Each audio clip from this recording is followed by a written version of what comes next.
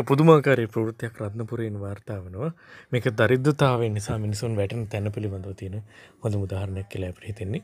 රුපියල් ලක්ෂ ගණනින් මුදල් ලිපීම සඳහා යොදාගෙනු 15 හැවිරිදි ගල්කිස්සේ දැරිය අවුරුදු 9 වයසේදී ඇගේ පියා අතින් දූෂණය වී ඇතැයි පොලිස් විමර්ශන වලින් හෙළිව තිබෙනවා. එම පියා පසුව මෙම දැරිය සහ බිරිඳව අතහැර දමා ගොස් තිබෙනවා. පසු දිනය සහ ජීවත් වූ ඇගේ මව අනියම් සම්බන්ධතාවක් පවත්වාගෙන යමින් සිට ඇතැයි මේ අතර වාර්තා වන පා කාරණාව පිළිබඳව තමයි අපිට මේ තොරතුරේ සඳහන් වෙන්නේ. මේ අතර තම මව දියණියව ලිංගික ශ්‍රමිකයෙක් ලෙස භාවිත කරමින් ලක්ෂ ගණනින් මුදල් උපයා ගැනීමට කටයුතු ද ඇතැයි වාර්තා වනවා. පහළොස් හැවිරිදි දැලිය මෙලෙස කාමුක ආශාවන් වන්මින් සල්ලාලයන්ට විකිරීමේ ජාවාරමට ඇගේ මවගේ අනියම් සැමියා තහවුල් වෙලා තිබෙනවා.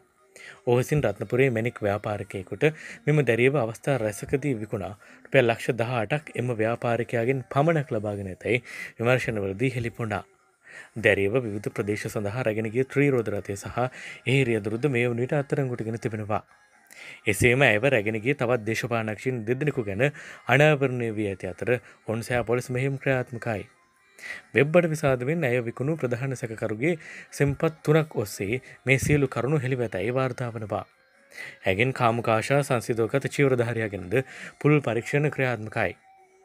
දැනට ඇගේ පහසල වූ විස්සකට අධික පිරිස අතරගුට ගැනීමට පොලිසිය සමත්ව තිබෙනවා. මේ විමර්ශන් රහස් පොලිසි සහ පොලිස් ළමා සහ කාන්තා කරංශමින්ව ගල්කිස පොලිසි දෙක්ව සිදු කරමින් තිබෙන බවයි වාර්තා වන්නේ.